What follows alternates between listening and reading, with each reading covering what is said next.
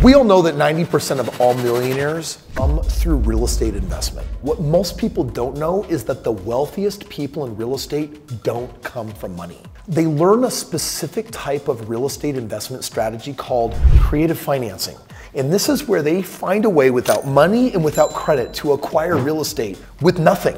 They're basically inventing money out of thin air. And having invested in real estate for the last two decades, having done thousands of deals, I've learned a lot of really cool strategies. And I thought for today's video, I'm gonna just compress all of them into the top 10 creative real estate strategies that I've ever used for crushing it in real estate. Bottom line, the lack of money or credit should never be a reason to not build wealth. And today, I'm gonna prove it. Listen, we all know what traditional financing is, right? It's like I saved up money for a down payment, I've got good credit, I go to the bank, and then basically I work with the bank and the seller on the property. And between all of us, we strike a deal. I'm basically gonna put a down payment, the bank's gonna give me the rest of the money, the seller walks away from the house, the house is mine. That's traditional. What we're talking about today is not traditional.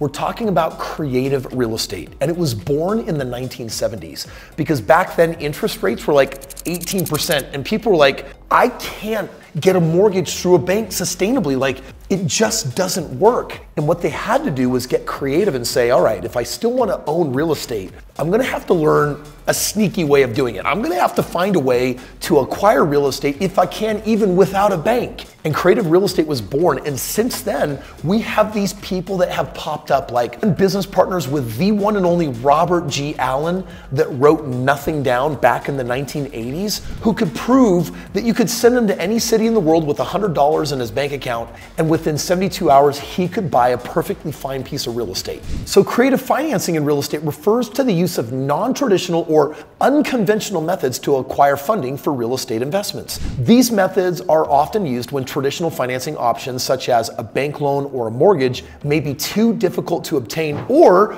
you're just a savvy real estate investor that says, Why would I use money if I just don't need to? So let me just demonstrate a couple of ways that I've used creative real estate. I'm sitting right now in a commercial building, and when I went to go buy this building, they wanted a million dollars for it because it was totally run down, and I was gonna have to put a few million dollars into it to turn it into this convention center that it is. So I went to the people selling the building and I said, hey, I want to give you a $5,000 down payment and basically give me up to a year to obtain financing to buy this for a million dollars. And you know what? They agreed to it. So it wasn't a pure no money down deal because I put down a few thousand bucks, but basically they said, hey, for the next year, as long as you make a minimum monthly payment, we'll basically buy you time until you can actually get this deal financed. What that meant was I was controlling a million dollars of real estate that was going to become worth millions of dollars, but basically for just a monthly payment. Six months later, I had a handful of investors and the SBA, the government financing arm, that kicked in and said, We'll provide the rest of the money. And voila, got the money to basically buy the place, fix it up, and run it as a business. The house that I'm living in right now with my family, I negotiated with the developer to give him a down payment on the house and said, Hey, I want you to be the bank. I'll make monthly payments to you, but in nine months, I'll be able to get permanent financing in place. And you know what they did? They worked with me, we did the deal. Nine months later, I got the bank loan in place. And again, I was able to spend nine months prior living in the house with my family that I wanted to live in that was best for us. Creativity made that happen. All right, what we're gonna do right now is launch into the 10 types of creative financing. The first one is called seller financing. This is when the seller of a property provides financing to the buyer instead of the buyer obtaining a loan from a bank. This can be beneficial for both parties as it allows the seller to sell the property quickly and the buyer to avoid the strict requirements of traditional lenders. Now, I love seller financing because it basically means that whoever I'm buying the house from, they already have a loan. And I go to them and I basically say, hey, you've got the loan. Why don't I just make payments that go directly to the bank and kind of take over? You be the bank. And there's a lot of sellers that say, no skin off my back, no problem whatsoever. If this gets the deal done, let's do seller financing. By the way, I just recently did this with the business. The business was for sale for $10 million. I went to the owner of the business and I said, hey, there are some problems with your business. So if you're a little bit flexible and we can agree on terms, I'll still buy your business. And ultimately, I agreed to make payments of $100,000 a month, every single month, until the $10 million is paid. But right up front, I get the bank account, I get all the assets, I get the employee, I get everything. And I've started working that business and I've been turning it into a cash cow. Well, guess what? I didn't need to write a $10 million check All I had to do was start making monthly payments. That's also seller financing. Number two, hard money loans. These are short term loans that are secured by real estate. They are usually provided by private lenders and have higher interest rates than traditional loans. Hard money loans can be useful for investors who need to close quickly or have poor credit. So, for example, let's say I'm buying a property and I'm going to flip it, and let's just say it's worth $300,000 fixed up, but I negotiate it at 50 cents on the dollar. I'm buying it for $150,000. I can go to a hard money lender, and instead of them charging 5 or 6 or 7% like a bank, maybe they're going to charge me 10%, 12%, or 14%, but they're going to give me the $150,000 to buy the house cash. They're going to give me $50,000 to fix up the house, and I'm going to borrow enough money where I can give myself four or six months to actually sell the thing. Well, they feel great lending the money to me because it's collateralized by a property that I negotiated for half off. And maybe they want collateral on another home or two of mine, but bottom line is they give me the money. Now I'm doing the deal. Six months later, when I sell it and turn a $50,000 profit, they've been fully paid back plus their 12% interest. Hard money is very common in the game of real estate. However, hard money is not good for long term loans. 12% is a very steep interest rate to pay if you're going to keep servicing that debt for years to come. It's usually better for short term plays. All right, let's get creative with number three. It's called home equity loans or HELOCs home equity lines of credit. These are loans that allow you to borrow against the equity in your home. They can be used to finance real estate investments, but they come with risks such as the possibility of foreclosure if you're unable to make payments. The very first house I bought a year later, I got an $18,600 line of credit. I used that to cover the down payment on my next investment property. How cool that my first house bought my second house and I didn't have to come out of pocket at all. By the way, guess what happened to that second house? I used the equity in that second house to buy my third house. And years later, when I sold it, I made over $130,000. Now, if I put up no money and I made $130,000, guess what kind of return that is? That's an infinite return because I literally made $130,000 out of thin air because I got creative by borrowing money out of the other asset. Number four, crowdfunding. This has become very popular in the last five years. This is when a group of people pool their money together to invest in a property. Crowdfunding can be a good option for investors who do not have a lot of capital but want to invest in real estate. What you do need to know is that crowdfunding is a security. You need to involve a lawyer that can prepare legal documents so that everyone putting in a little bit of money, collectively forming a lot of money, understand that there are risks to investing their money. And the bottom line is this is a security. So you are going to need a lawyer to do this one correctly. Over the last decade, I've run several funds. I basically put a fund together, a bunch of people throw money in, we buy a whole bunch of real estate, we let it build in value, we someday sell it all off, everyone gets their money back, and voila, everybody wins. Number five is a favorite of mine. It's called private money loans. These are loans that are provided by individuals rather than banks. Private money can be used for investors who need to close a deal quickly or have poor credit. It sounds a little bit like a hard money loan, but those are actually professional private organizations that are looking at lending their capital on real estate specifically. Private money isn't always collateralized to real estate. My father in law has lent me a lot of private money to do all sorts of business and real estate deals over the years. I've got other people in my network. They're just regular human beings that have excess capital, they want to earn interest on it. Number six, equity sharing. This is when the buyers and sellers split the equity in the property. This can be beneficial for buyers who do not have a lot of capital but want to invest in real estate. This is something that I do a lot of. I often call it partnering. I basically say, hey, if you have the money, bring it to me. I'll find the deals and I'll do all the work. And then we're going to take the profits, the equity, we're going to share everything together.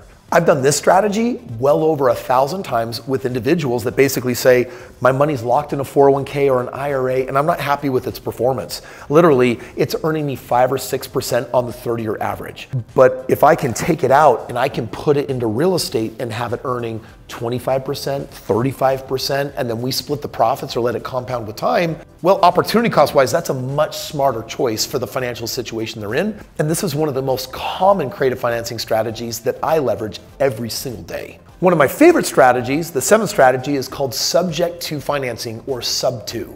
This is when the buyer takes over the seller's mortgage payments. This can be beneficial for buyers who do not have the credit or income to qualify for a traditional loan. I get people that will reach out to me and say, Kris, I'm going into foreclosure or I'm behind on my payments. Will you just take over my house? Will you get me caught up and take over my house? And I love those kind of deals because We have, for example, really high interest rates today. Let's say there's 7 or 8% on investments. Well, if someone did their deal years earlier and they locked in a 2 or 3 or 4% rate, I can basically assume it. I can take it over and say, hey, just give me the asset and let me take it over. And I can't tell you how often that is one of the most perfect ways of structuring a deal. Number eight, wraparound mortgages. This is when the buyer takes out a second mortgage to cover the difference between the purchase price and the amount of the first mortgage. This can be beneficial for buyers who do not have the credit or income to qualify for a traditional loan.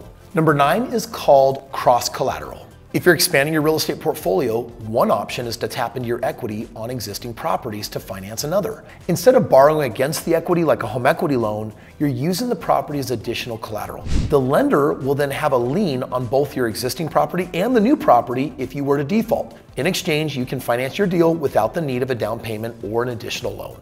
I've actually borrowed money so many times and people say, wait, how do I know this is gonna be safe or secure? And I say, hey, I'll just, I'll just collateralize it against my portfolio. And they say, oh, well, that's great because you're worth millions and millions and millions and millions of dollars. So if anything ever goes wrong, then we can sell your assets and I can get paid back that way. Collateral is for me often a device that I use to create comfort when people are doing financing with me. And when I need to, I'll literally just say, hey, we can collateralize this asset over here against the loan. It makes people feel so comfortable.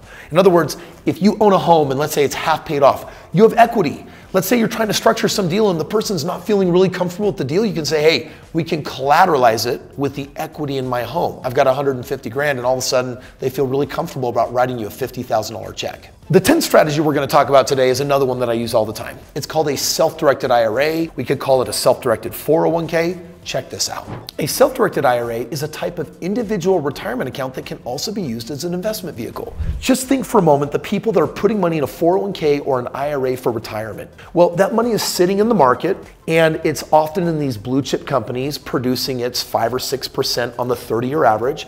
There are years when they'll make like 18% or 12%, and then there are years where they'll lose 18% or 12%, but they tend to average out at 5 or 6%. Well, if you were to ever take your money out of an IRA, for example, you'd have to pay taxes and penalties. Penalties are 10%, and then taxes are whatever tax rate that you're in. Like, let's say I had $200,000 in an IRA and I normally make only 50,000 a year. If I take that out, I'm gonna pay 20,000 for my 10% penalty, and then I'm gonna add the remaining 180,000 to my $50,000 year income. My taxes are gonna be crazy high. So instead, I just say I'm coming out of the market and I'm gonna self-direct my IRA. And there are things that I can do with that self-directed account that has helped me avoid taxes and penalties. One thing that I can do, I can invest in certain types of real estate and businesses. And guess what? I paid no taxes, I paid no penalty, and I access money. People everywhere have 401ks and IRAs and they're not happy with their performance. So if you find something worth investing in or a really good real estate deal, someone's self-directed IRA or 401k may come to the rescue to provide the creative financing to make that deal go through. You know what's so funny about this video? I can't believe that I'm teaching this because 20 years earlier when I was learning it, it went right over my head. And thank goodness I had a mentor to straighten me out and show me all these strategies and help me implement them. And guess what? Over time, I figured it out. And now I'm one of those dudes doing tons of real estate, not because I have money, got that too, but it's because I have this knowledge of creative financing. If you want a mentor, would you like to have a mentor teach you how to do this stuff? Because guess who I am? I'm a mentor for certain people out there that are saying, Kris, I want to become a real estate mogul like you. I want to invest successfully. Sure, maybe I do have money, but maybe I don't. Help me get started in the game. If you want me to be your mentor and show you and help you figure out how to implement all of these strategies, click the link below and fill out the form and say, I want Kris to be my mentor. If you want me to be your mentor, click the link, fill it out, and I'm gonna have my team in touch with you. And what they're gonna do is they're gonna find out are you motivated? Are you serious? Are you excited? Are you willing to roll up your sleeves? Because if you are, you may be selected as my next student, where I'll give you my tools, my resources, my team, my coaches, and me to help you do your next deal.